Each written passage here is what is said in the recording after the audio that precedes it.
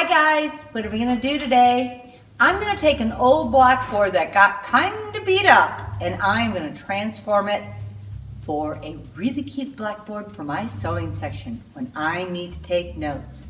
Let's get started.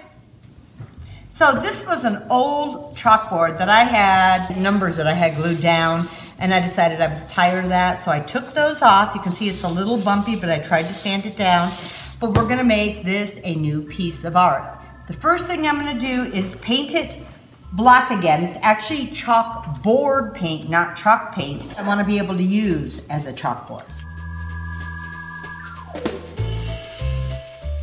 I don't mind the brush strokes in this because this board is so bumpy and it is not going to look pristine anyway that I just don't mind.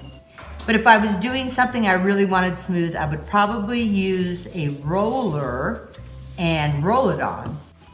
Okay, I'm gonna let this set and dry and then we'll get back to it. I let the blackboard dry. I can see where my dots were, but I don't mind that. I am going to use this uh, low tack tapes to hold your stencils down, especially when there is so much detail in them. And it just helps keep it in place.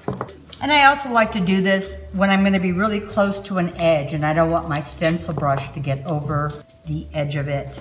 So today I decided I'm gonna use my white liquid erasable chalk ink.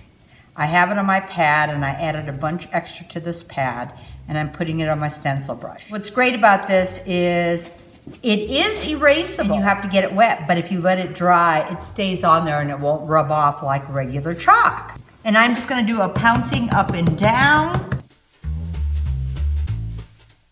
this is a very, very detailed stencil, so that's one reason I am not going to swish around and I'm gonna go carefully over these edges.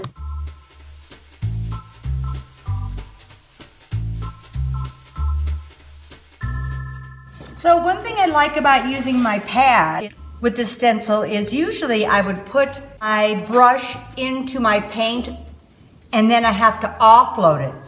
This, I reloaded ink over here, and then it's a little drier over here, so I can just offload right back onto the pad, and I'm not gonna have huge, huge blobs of paint or ink.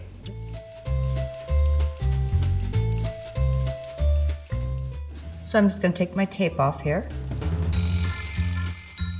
Okay, so I've got this part done. I wanna let it set and dry. And you also have to give your chalkboard about 24 hours before you put your chalk on it to prepare your board. So I am gonna see these bumps when I chalk it, but I think that's gonna make it even look cooler. So I'm gonna let this set, let this dry, and in 24 hours, I'm gonna take my chalk and rub it all over the whole board and then wipe it down.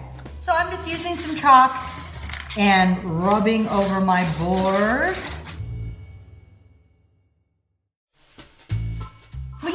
Over your board, it prepares it. And then when you start writing with chalk, you don't have that dark ghosting when you try to erase it. This board is pretty bumpy, but I don't mind. Even though I'm not going to be chalking in between these letters, I want to kind of make it all look uniform. Soft cloth or something soft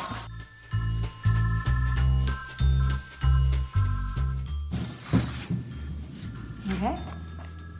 So I hope you saw just adding a little bit of image onto it. Um, I think this is just gonna be such a fun piece in my sewing section. I can even draw lines or just write notes. Hope you try this, but have fun.